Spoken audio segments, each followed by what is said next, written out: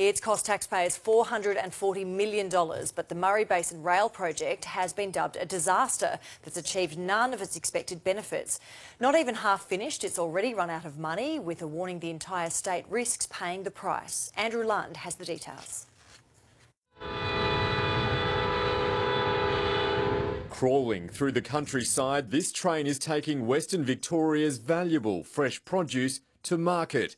But a project to revitalise the region's rail lines has veered badly off track. It's a disaster, yes. It's really unfortunate because it was a project that had promised so much. The $440 million Murray Basin Rail project was a plan to convert the state's western rail lines from broad gauge to standard gauge, designed to increase capacity and help shift freight off roads. The problem we've got is they've got less than half the way through it. They've run out of money because they've botched it so badly. We were better off before the project started.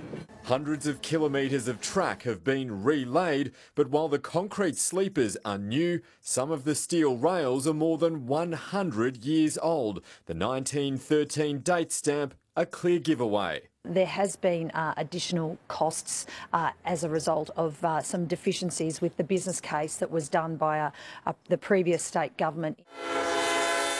Issues with the track mean trains are often forced to slow to 25 kilometres an hour or less. The result is that on this section between Maryborough and Ararat, the journey takes almost three times as long as it would by road.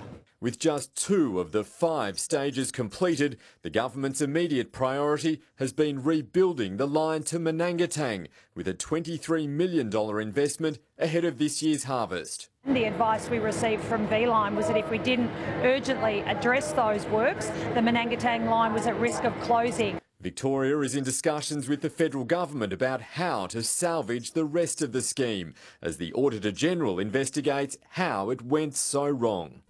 For all intents and purposes, 440 million just down the drain. This is a problem for all Victorians. This isn't just a problem for regional Victoria. I mean, we're all in this together and if people don't like trucks on their on their tollways and, and freeways and highways now, um, get ready, it's going to get a lot worse.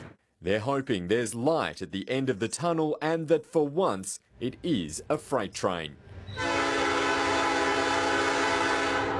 Andrew Lund, 9 News.